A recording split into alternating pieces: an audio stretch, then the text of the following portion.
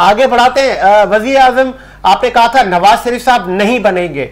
और गालबन वो बनते हुए नज़र नहीं आ रहे। क्या शहबाज शरीफ साहब कंफर्म हो गए? बिल्कुल, मैंने कहा था कि अगर नून लीग की गवर्नमेंट आएगी तो नवाज़ शरीफ नहीं बनेंगे। शहबाज शरीफ बनेंगे, वो देखे आपने उस वक्त मेरे साथ कोई नून लीग का कोई बंदे बैठे थे तो उन्होंने कहा था कि इनकी क्लिप चलाना नहीं है वो। तो मैंने कहा, मुझे नहीं लगता नवाज़ शरीफ बनेंगे। तो शहबाज शरीफ बन जाएँगे वज़ीर आज़म से बस यही आएँगे और कोई नहीं आएगा। वज़ीर आज़म शहबाज शरीफ बनेंगे। बाकी आप नीचे ऊपर सब चेंजिंग होती रहेंगी। लेकिन वज़ीर आज़म शहबाज शरीफ ही आएँगे। एक बात और भी आपने कही थी। आपने कहा था कि अब जो भी हुकूमत बने आ, उनको काम करना होगा। आगे अब वोट काम पे मिलेगा। अब दौर चेंज हो चुका है। तो वो जो काम पे वोट मिलेगा तरक्की पे वोट मिलेगा क्या ये पार्टियाँ पुरानी पार्टियाँ अब कुछ माजी से सीखी हैं? देखिए उनको कितनी स्पेस मिलती है काम करने की ये मेन चीज़ है। लेकिन वो करना चाहेंगे और मुझे लगता है हर जगह कुछ ना कुछ तो काम नज़र आएगा। और वो करेंगे भी इधर अदरवाइज़ तो कोई च्वाइस नहीं है। देखिए हर किसी के पास मोबाइल है हर कोई आज़ाद है। हम्म। आपका काम होगा तो नज़र आएगा नहीं होगा तो तनकीद होगी। हम्म, हम्म, होगा तो करना पड़ेगा हर किसी को। आप कितने पर उम्मीद हैं कि ये जो 16 महीने इनकी परफॉर्मेंस पे उंगली उठाई गई थी आ, क्या आप भी वैसा ही होगा? प्रॉब्लम्स तो आती रहेंगी इनको। इसमें तो कोई दौड़ा ही नहीं है क्योंकि जब आप इतनी बड़ी टीम को लेकर चलेंगे इतनी पार्टियों के साथ गवर्नमेंट बनेगी तो हर किसी के कुछ ना कुछ डिमांड होंगे। उनको पूरा करने में काफ़ी टाइम निकल जाएगा तो मुल्क के लिए इतना काम नहीं हो पाएगा जितना करना चाहिए। लेकिन आप आज च्वाइस नहीं है पाकिस्तान के पास इनके अलावा और बताएँ कौन सी च्वाइस है?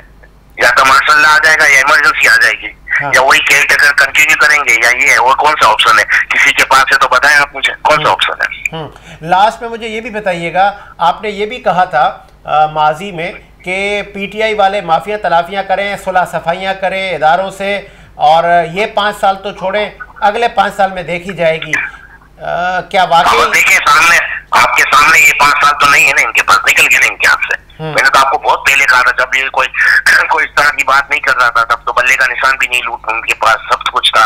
हम्म। तब मुझे लगता है इनकी पास गवर्नमेंट भी तकरीबन कभी गई हुई थी तब की बात है वो। तो, हाँ, हाँ, हाँ. तो इनका इनकी इसी एजेंसी पॉलिसी वजह से इन्होंने कीमत अदा की है और वही इसी तरह की पॉलिसी रखेंगे तो और इनको प्रॉब्लम होंगे।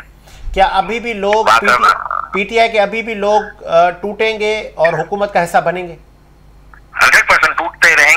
टूटेंगे और भी टूटेंगे आपको नज़र आएगा। हाँ। अब ये अभी इस तरह का जो ऐलान किया गया है आई के मुआरे के हवाले से और प्रॉब्लम आएगी और लोग टूटेंगे। हम्म, हम्म। क्योंकि हर कोई अपने अपना अपना तो सोचेगा ना कि भाई इस इनके साथ कितना चल सकते हैं।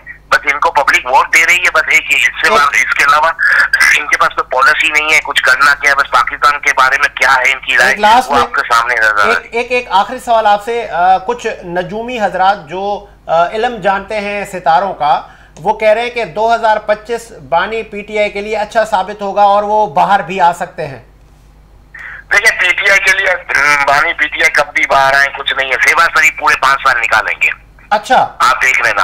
हाँ नीचे की टीमें बल्ले चेंज होती जाए लेकिन सेवा शरीफ साहब पाँच साल तक हुकूमत करेंगे। तीन साल तो आप तीन साल तो आपको सीधे सीधे नज़र आ जाएँगे। तीन साल तक तो कोई पूछेगा भी नहीं। पाँच साल तक मुझे लगता है ये कर जाएँगे पाँच साल चार साल तो पक्के है इनकी गवर्नमेंट ही रहेगी। सेवा शरीफ चार पाँच साल से पहले नहीं जाते ये आप देख लेना। ठीक है जी बहुत शुक्रिया। कुछ भी बोले बोले कितने हाँ। भी तजियाब कर ले हाँ। जो भी है सेवा शरीफ अच्छा पूरा टाइम तकरीबन चार पाँच साल तो निकाल ही लेंगे। बहुत शुक्रिया सर। बहुत शुक्रिया आपके कीमती वक्त का हमारे साथ मौजूद थे। इकबाल अडवाणी साहब।